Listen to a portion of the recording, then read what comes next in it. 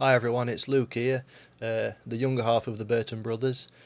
Um, just wanted to apologise for the uh, for the lack of videos uh, for quite a while really on our channel. Um, there's uh, there's been quite a lot of things going on behind closed doors uh, with the Burton brothers, um, but uh, rest assured we're, we're, we're back at it and, and more videos will be coming.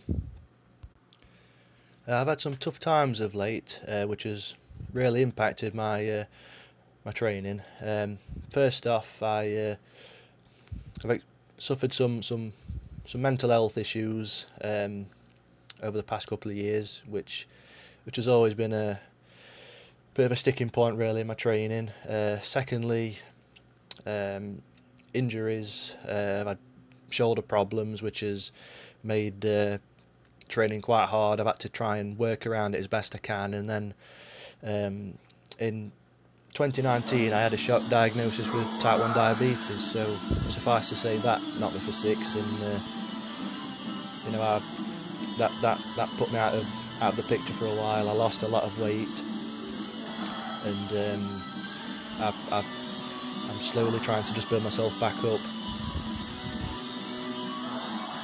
Here I'm doing squats probably uh, one of the best, if not the best, exercises for size and strength in the legs. Um, trying to keep a flat back, going down as deep as possible while maintaining that, uh, that, that straight back posture.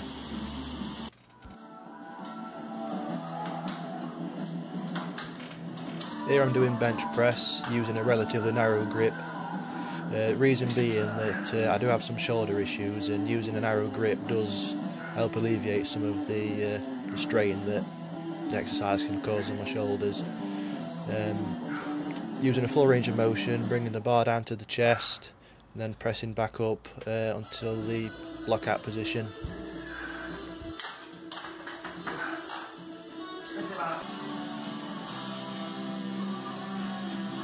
Next exercise was chins. Um, again using full range of motion all the way down, all the way up um, trying as best I can to uh, focus on using my back muscles rather than letting the arms take over an exercise. Uh, and a handy little trick that I sometimes employ to uh, to achieve that is uh, is not to grip the bar fully, but to use a, a false grip where the thumb is on the same side as the bar of the fingers. Um, doing this, it helps take the biceps out of the uh, equation somewhat. I find.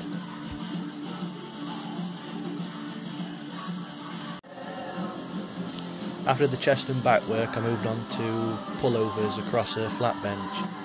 Now, this is an exercise that you don't see very often today, but uh, it's one that was employed heavily by the uh, by the bodybuilders of yesteryear, and uh, seeing as that's the sort of physiques that I, that I try to emulate, uh, it always finds a place in my uh, workout program. Um, works the chest and the back, but the um, the main goal here is to uh, actually work the the rib box. Now, science says that you can't expand your rib cage through exercise, but uh, looking at the results of the guys uh, like Arnold and, and Lou Ferrigno, I don't think you can really argue with the results. And uh, it's just an exercise that I've always enjoyed doing. You know, you get a great pump from it and uh, I think it's good also for flexibility in your upper body and uh, I think it can also help with posture as well.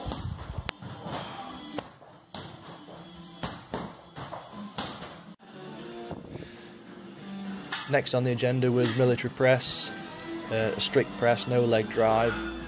Um, again using a full range of motion, bar on the on the uh, clavicle, pushing up to lock out, uh, try and as best I can to keep a straight back because uh, it can be quite a dangerous exercise on the uh, on the low back if you uh, if you allow yourself to lean back too far whilst you whilst you're pushing the weight up.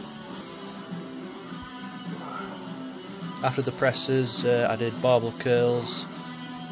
Um, probably the best exercise for building size and strength in the biceps. Um, trying to use uh, fairly strict technique using a full range of motion, so fully extended arms at the bottom, um, curling up in as wide an arc as possible, and then contracting hard at the top.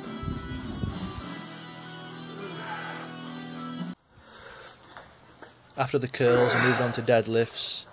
Um, this is a, a, full body exercise. Um, so it really works the legs well, as well as the uh, as well as the back muscles, the grip also. Um, it's just a, a great all-around exercise. I'd like to thank uh, anybody that watched, and uh, please keep uh, tuned into the Burton Brothers channel. Um, now I'm back on the on the wagon, so to speak. There's, there'll definitely be more more videos coming uh, coming your way soon. So.